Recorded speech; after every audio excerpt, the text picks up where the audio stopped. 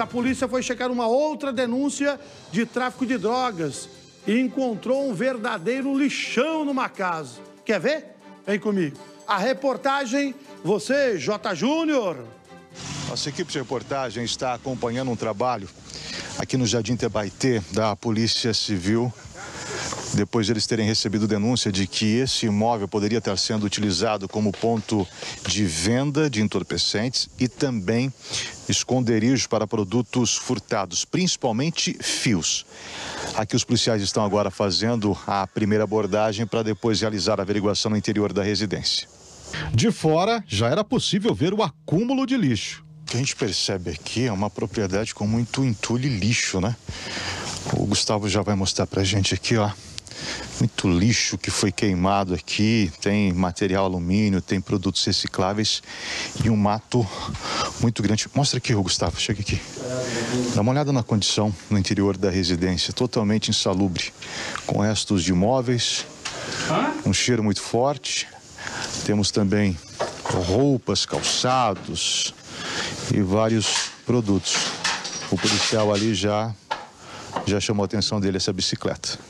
Vários focos de proliferação do mosquito transmissor da dengue foram encontrados no entorno da casa em meio ao mato alto. Ninguém foi localizado na residência. No interior do imóvel, os agentes encontraram ainda mais sujeira.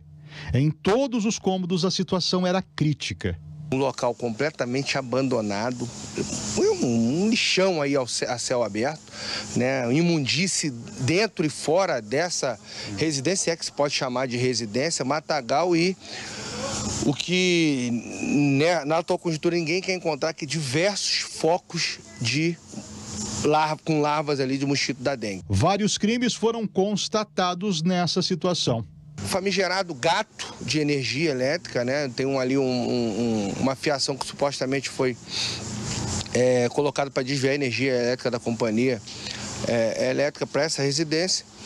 E o que com certeza caracteriza crime ali, se comprovado, de furto, subtração de energia, furto.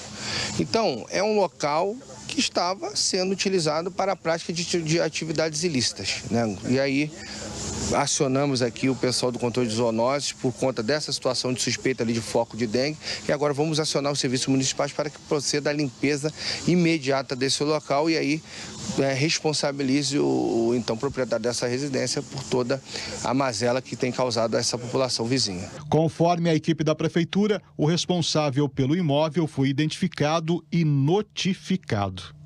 Tá aí. O pessoal, os vizinhos já não aguentava mais a, essa casa aí.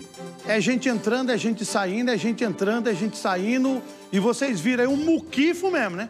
Pensa no imundícia que tá o quintal e dentro da casa também. Foco de dengue para tudo quanto é lado. E ali, pelo que a gente percebeu, tem gente morando ali. Não tinha ninguém lá agora, lá, tá vendo? Mas tinha gente morando. Tinha mandioca lá que eles provavelmente iam cozinhar.